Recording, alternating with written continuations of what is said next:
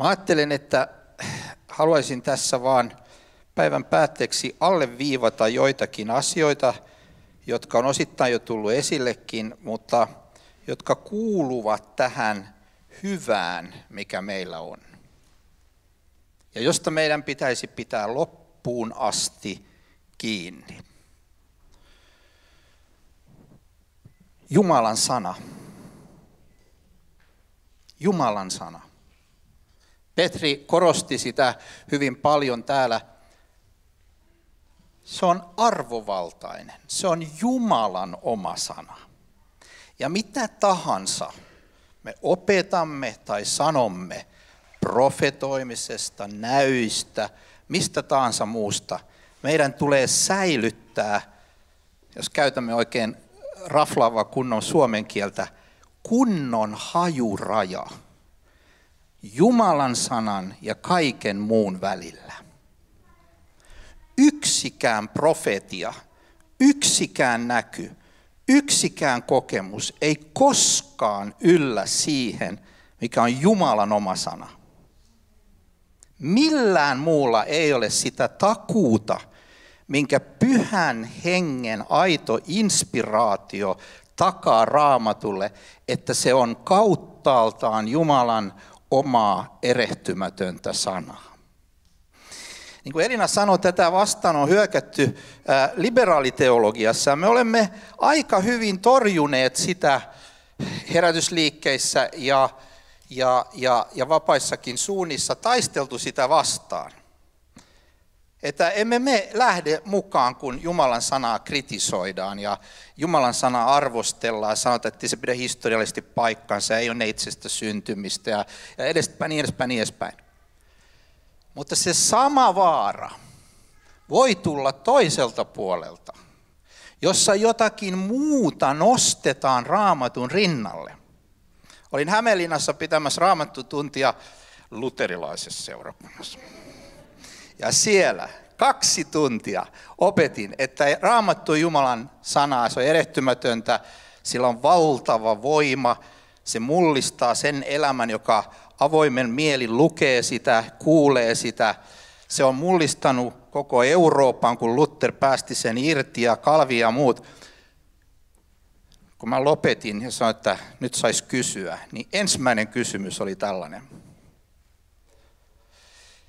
Se on ihan hyvä, että sä korostat tuota Jumalan sanaa. Et onhan se, onhan se niin kuin tärkeä.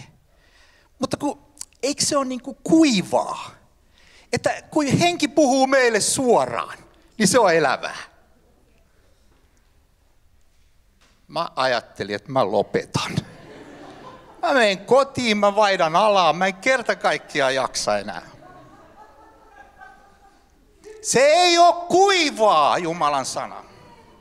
Se, mikä on kuivaa, niin kuivaa, että se ei kerta kaikkiaan kestä ja se palaa varsinkin viimeisenä päivänä. Se on meidän ajatukset, jotka nousee siitä sydämestä, josta Jeesus sanoi, että sieltä lähtee kaikki saasta ja synti. Ei sieltä kannata nostaa ja hakea Jumalan sanaa. Meillä on kaiken karvasia hiljaisuuden retriittejä tänä päivänä, jossa mennään hiljaisuuteen kuuntelemaan mun omaa sydäntäni mitä uutta mä siinä opin?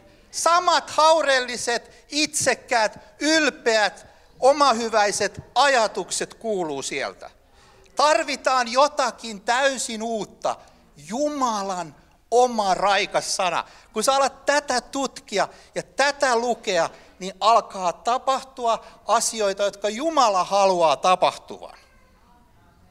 Meidän tulee pitää kiinni siitä itseämme varten ja myöskin julistaa sitä, opettaa sitä jatkuvasti. Saarnoissa kaikkialla. Tämä on tietenkin valtava vastuu meille, niin kuin, niin kuin Elina tuossa sanoi, että, että se hirvittääkin välillä. Mutta se on myös sinun vastuusi seurakuntalaisena. Millä sinä ruokit itseäsi? Jos me täytämme ne salit, jossa puhutaan jostakin muusta kuin Jumalan sanasta, niin ne kokoukset ovat täynnä ihmisiä. Siellä, siellä on valtavasti ihmisiä, mutta siellä, mistä avataan kärsivällisesti Jumalan sanaa, jae jakeelta, luku luvulta, kirja kirjalta, vanha ja uusi testamentti, se ei niin hirveästi enää sytytä. Ja siksi me olemme niin köyhiä hengellisesti. Me tarvitsisimme oikein kunnon raamattu herätyksen. Mä ajattelin täällä päivällä, mä en uskaltanut sanoa sitä vitsiä, mutta nyt kun mä oon muutenkin lähdössä, niin tota, mä ajattelin, että kun kuuntelin täällä, että, että, että mä luulin, että, että se on vaan meitä luterilaisia, kun vaivaa nämä kaikki merkilliset, kummalliset, harhaset liikkeet. Ja nyt ne on täälläkin. Oi veljet. Mutta jos te aiotte olla reformaation ihmisiä, uskonpuhdistuksen ihmisiä, ja jos me aiomme olla, meidän pitää palata Jumalan sanaan.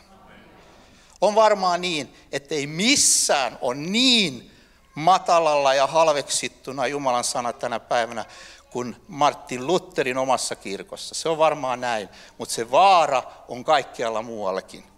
Pidetään kiinni siitä aarteesta, mikä meille on annettu. Luetaan sitä, tutkitaan sitä, julistetaan sitä ja katsotaan, mitä sitten tapahtuu. Toinen asia. Tämä kuulostaa oudolta ensikuulemalta. Mitä meidän pitää, mistä meidän pitää pitää kiinni, mikä on aarre, on meidän syntisyys. Tämä? Kyllä, meidän syntisyys.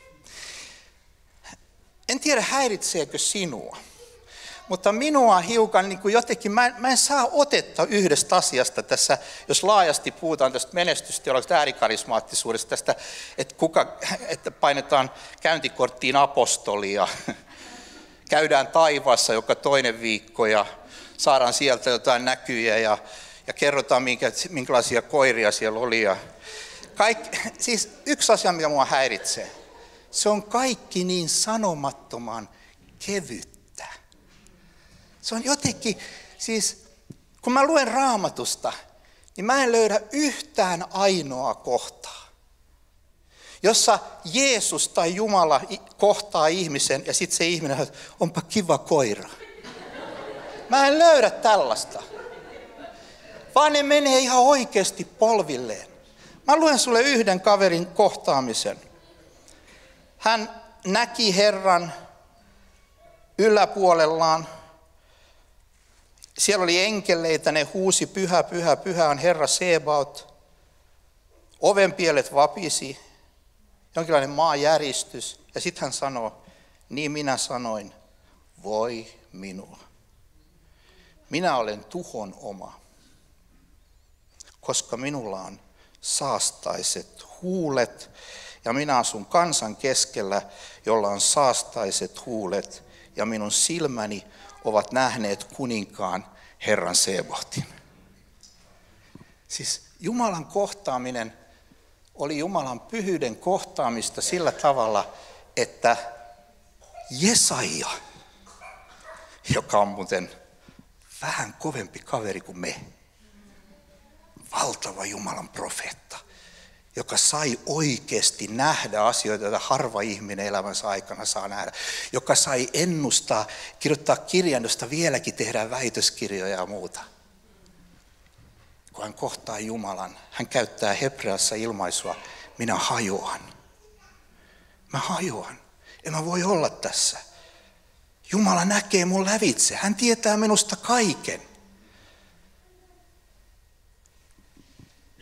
Synti on järkyttävä todellisuus. Jos ei sitä saada anteeksi, jos ei sitä saada pois, niin se hukuttaa meidät iankaikkisesti helvettiin. Siitähän me emme enää kuule. Tai jos kuulemme, niin viimeksi kun minä kuulin siitä, niin selitettiin, että se loppuu kesken. Se alkaa, se kestää jonkun aikaa, mutta sitten loppuu. Tuli tämmöinen uusi oppi. Ei se, se järkyttävä siinä on just se, että se ei lopu. Siksi se on oikeasti pelottava, mutta sen pitääkin olla. Me tarvitsemme ihmisinä pyhyyttä. Me tarvitsemme tajun siitä, että on joku oikeasti suurempi, pyhä ja puhdas, jonka edessä mä hajoan, ellei, ellei ole sitä yhtä ainoa asiaa, josta meidän tietysti ennen kaikkea muuta on pidettävä kiinni. Ja se on evankeliumi Jeesuksesta, Kristuksesta. Se hyvä sanoma, että hän tekee sen, mitä kukaan muu ei voi tehdä. Hän tekee näin. Jesaja kirjoittaa, minä pyyhin pois sinun rikkomuksesi kuin pilven, sinun syntisi kuin sumun. Palaaja minun luokseni, sillä minä olen sinut lunastanut. Eli ostanut vapaaksi.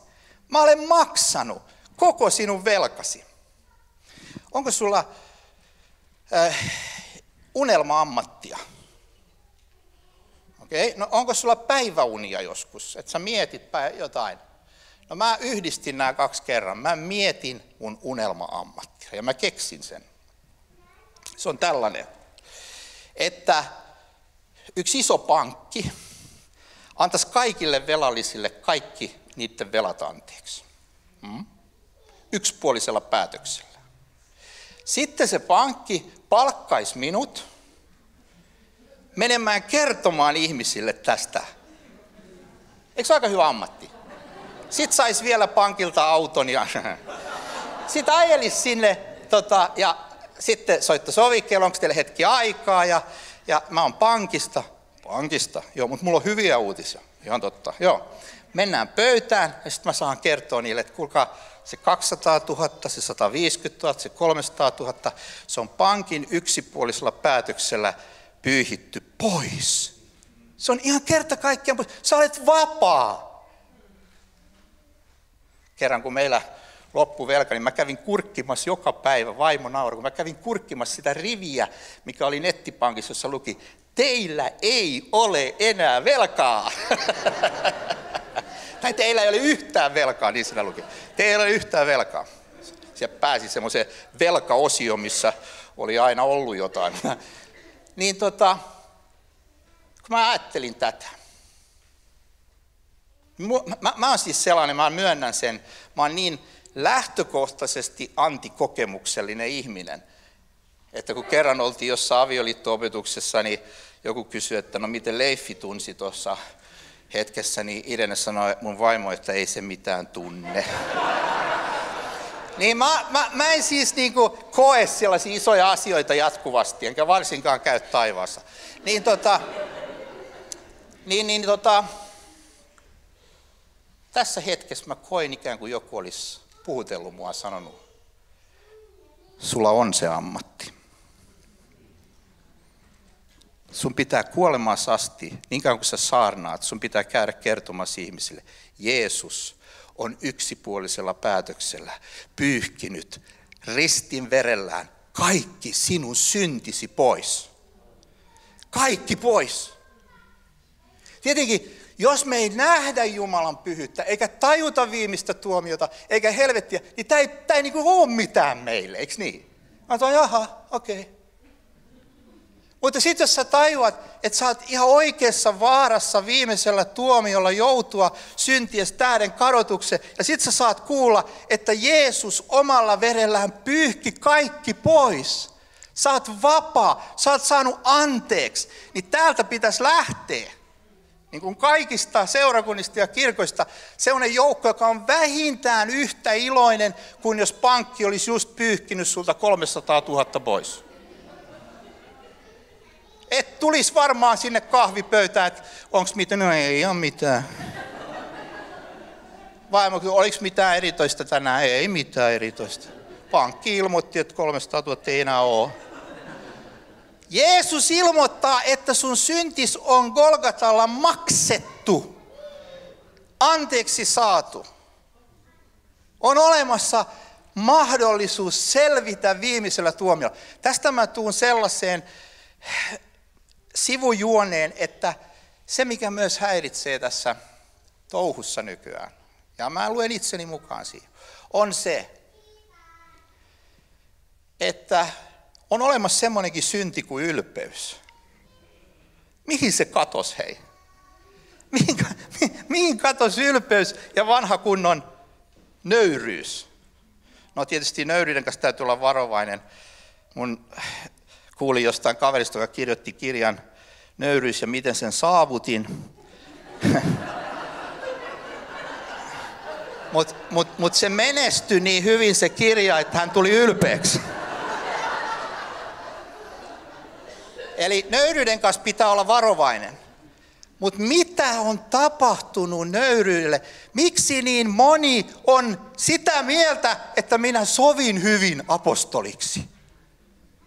Miksi, miksi niin moni? Miksi ei aika moni ole sitä mieltä, että se nyt on viimeinen asia, mihin mä ikinä koskaan sopisin? Hyvä, jos mä kelpaan jostain Jeesuksesta ylipäätään jotakin jollekin kertomaan. Missä on tämä perushyve, että en pidä ajatella itsestään enempää kuin sopii. Mä oon ottanut töihin jonkun verran ihmisiä elämäni aikana, ja tässähän on semmoinen ero. Se tapahtui jossain vaiheessa, että sodan jälkeinen sukupolvi on semmoinen, että osaako sä kirjoittaa? No en mä oikein tiedä. No osaako sä tietoista? No en mä oikein. Sitten sä otat sen töihin, niin se on aivan loistava. Sitten tulee tämä uusi sukupolvi, sori nyt nuorimmat, mutta sitten tulee tämä uusi sukupolvi. Osaat sä kirjoittaa? Totta kai, jos sä haet kirjoittaja, niin mä oon se mies. Osaako sä tietokoneita? Joo, joo, mä osaan kaikki ohjelmat. Mä oon niitä, mä oon niitä itse asiassa luonut saatat sen töihin, niin se ei osaa mitään. Siellä jossain on se tasapaino, jossa mä sanon, että Jeesus ihan, ihan oikeasti valitse joku muu. Lähetä joku muu. Mä oon väärä mies. Mä oon liian syntinen mies.